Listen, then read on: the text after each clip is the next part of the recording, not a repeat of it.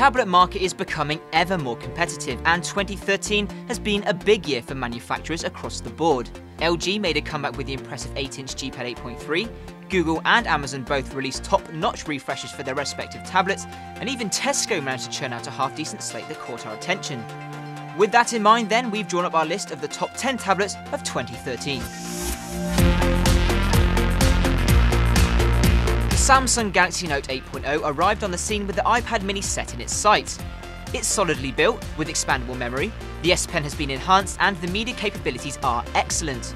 Unfortunately though, it didn't quite manage to hit the same heights as its Apple-made rival. The Note 8.0 is a good device, but there are better out there for the money, and with an arguably better design. This is a bit of a surprise, a supermarket putting out a half-decent tablet? Given the price, the Tesco Hudl is very well spec'd, and a steal at just £119. It sports a solid build and rather decent 7-inch display, and while it's not going to blow you away with super slick operation, the quad-core processor means there's a decent chunk of power under the hood.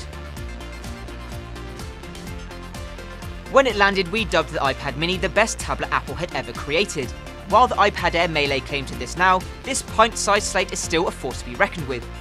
It misses out on a Retina display and pushes the upper end of the price bracket, but you can justify this with its slick operation and premium build quality. Microsoft's second generation Windows 8 tablet builds on its predecessor and brings a well-rounded tablet come laptop experience.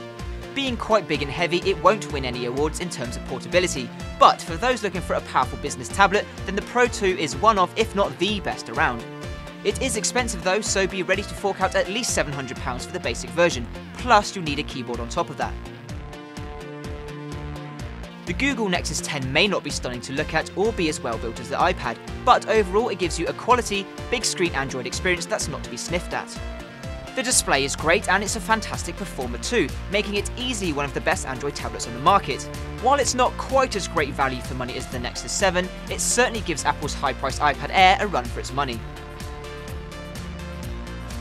When you make a tablet with the design language of the LG G-Pad 8.3, perhaps it's time for Samsung to start worrying.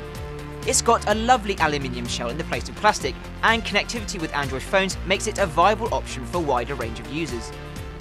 In fact, the G-Pad 8.3 only scored lower in our list thanks to a slightly higher battery drain than we were expecting, plus the overlay can take some getting used to.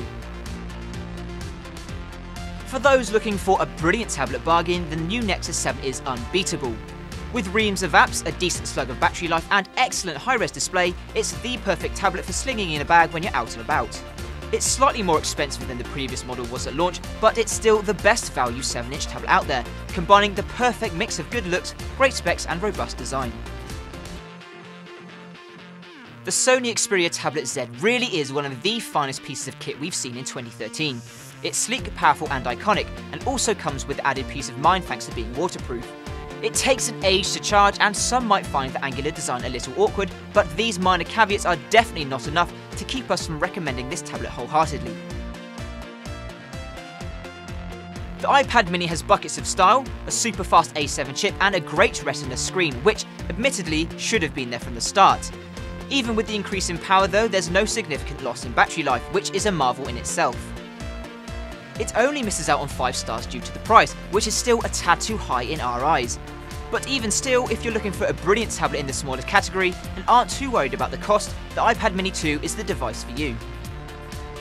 If you've already read our iPad Air review, this will come as no surprise, as Apple's latest slate is the first ever tablet to get a 5-star rating on TechRadar.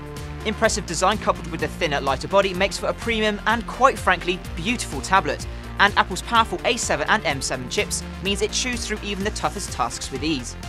Yes, the price tag is still too high, but it's comparable to the likes of the Xperia Tablet Z, which makes it a contender on an even playing field for the first time. And with that in mind, there's no comparison. The iPad Air has reclaimed the top spot for Apple, and it's going to take some beating.